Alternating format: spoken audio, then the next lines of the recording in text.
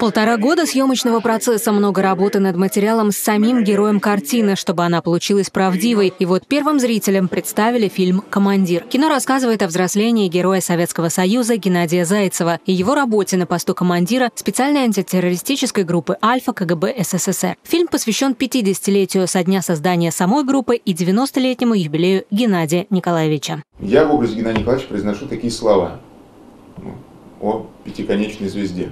Из пяти лучей этой звезды первый принадлежит моей маме, второй моим наставникам, третий сотрудникам нашего подразделения, четвертый мой.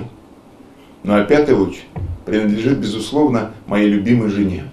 И вот наш фильм о том, что героями не рождаются, ими становятся, но помогают им – как раз люди, которые окружают. Кастинг на главную роль фильма прошел достаточно быстро. Предпочтение было сразу отдано Кириллу Зайцеву, который не только является однофамильцем героя, но и внешне сильно похож на него. Как отметил сам актер, для него эта работа стала очень ответственной, ведь именно через его игру люди узнают о жизни легендарного командира. Также Кирилл рассказал, что главную оценку за свою роль он уже получил непосредственно от Геннадия Зайцева. Он сказал такие слова, которые мне были очень приятно. А сказал он так, Кирилл, ты с поставленной задачей справился.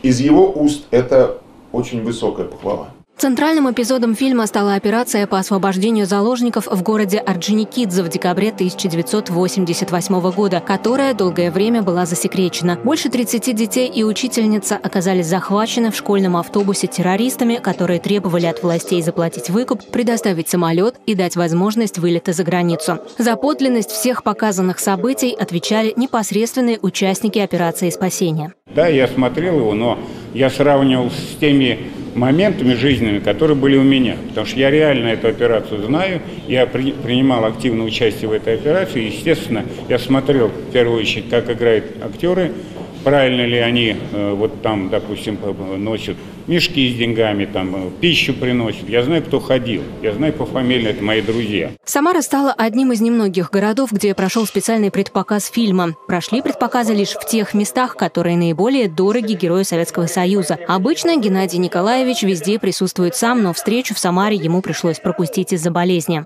Мы были в Чусовом на его родине, показывали фильм. Мы показывали фильм в Чайковском, там живут его родные сестры. Вот одной 91 будет в этом году, там, ну короче, 88, 85, понимаете? И вот мы им показывали фильм. Они были просто счастливы. И вот сейчас мы показываем здесь, это все города, все места, которые ему очень дорогие и близкие. 22 февраля жители Самары и всей страны смогут увидеть фильм на больших экранах и заочно познакомиться с героем Советского Союза Геннадием Зайцевым, чья тяжелейшая работа по большей части всегда оставалась за кадром. Светлана Кудрявцева, Андрей Горкуленко, Петр Поломеев. События.